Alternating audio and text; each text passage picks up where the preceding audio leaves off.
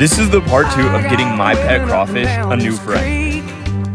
In the last part, we loaded up the crawfish trap with all the bait and threw it out there and let it sit for 24 hours.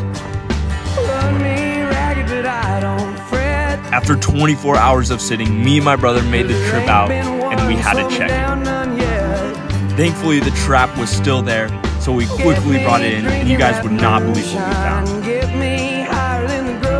Even though there's no crawfish, there was this fish head and this little fish right here.